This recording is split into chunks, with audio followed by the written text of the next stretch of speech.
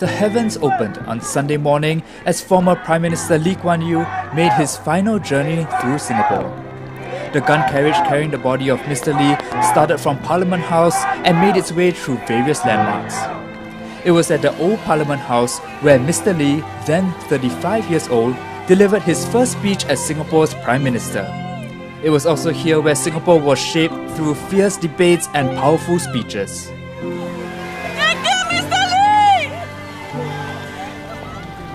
Braving the rain, the crowd looks on as four 25-pounder ceremonial guns fire a 21-gun salute.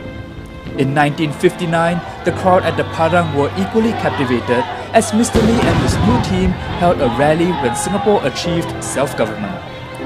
That day, the party's rallying cry roared in front of the Supreme Court.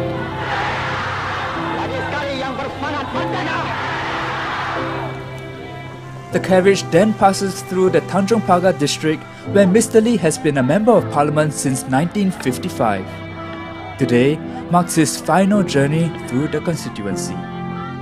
There, the pinnacle at Duxton stands, a symbol of the success of Singapore's housing policy. And as the cortege passes through Bukit Merah and Queenstown, two of Singapore's oldest housing estates, people from all walks of life came out to say their last goodbye.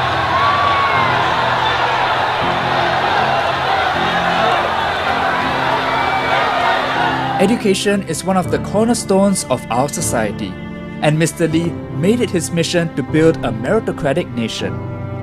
It is fitting then that Mr. Lee's state funeral is held within the National University of Singapore, where the gun carriage carrying his body finally comes to rest.